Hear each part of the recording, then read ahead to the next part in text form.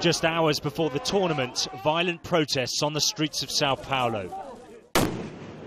Why should we spend so much money in the stadiums while the streets, the streets are abandoned? We are abandoned. The, the people, the people suffers with robbery of the government every single day. Football in this country has always been a socially uniting force, but not anymore.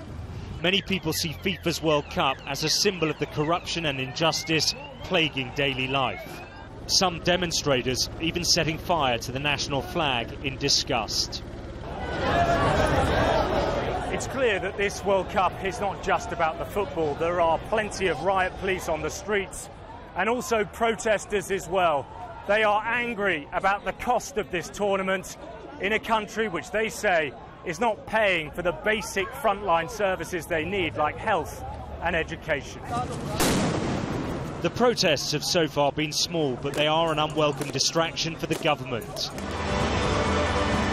It was hoping the opening ceremony would signal to the world Brazil's position as a rising power and a force in the new world order.